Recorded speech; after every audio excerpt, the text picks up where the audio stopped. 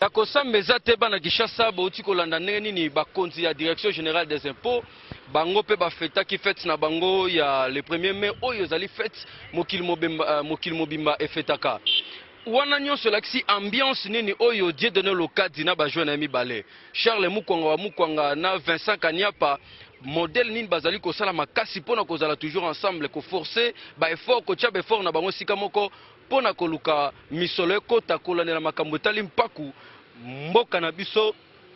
ezanga ata eloko moko te. Nabanzi bolandi mpe ndenge nini Madame Brigitte Kunda oyo azali Directeur ya Ressources humaines ya Direction generale des Impots ndenge a expliquer politique na bango nde bazali ko travailler na kati ya DGI. President ya Delegation syndicale ya DGI, Anatole Boteya ye mpe abakisaki par rapport ya mosala makasi oyo bazali kosala ya ko maximiser ba recettes, Ko feter ensemble ndenge wana ezali kolakisa bomoko oyo ezalaka na kati ya Direction generale des impots.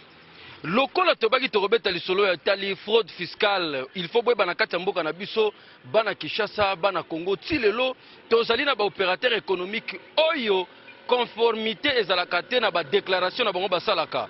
Nalobaki yango na emission elekaki mbala sima que biloko, ba stocks to ba marchandises tango ekotaka na kati ya Republique democratique du Congo, Na niveau ya port to na niveau ya ba aeroports, place nionso ba frontières na biso ezali, bakonzi ya Direction generale des douanes et accises bazwaka bongo,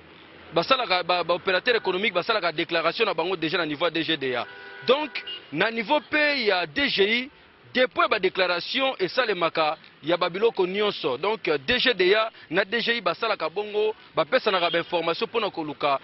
ba marchandises nyonso to opérateur économique misala bazali kosala ba biloko bazali koteka conformité ezala na ba declaration na bango mpo na koyeba kofuta oyo ezali bongo mpaku ya l'etat.